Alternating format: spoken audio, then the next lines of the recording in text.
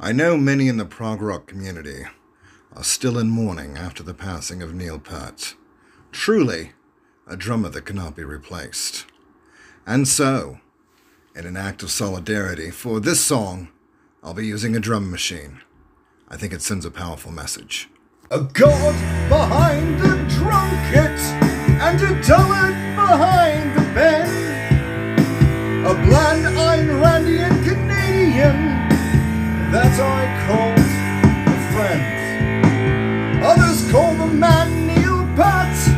Now he's six feet under the dirt.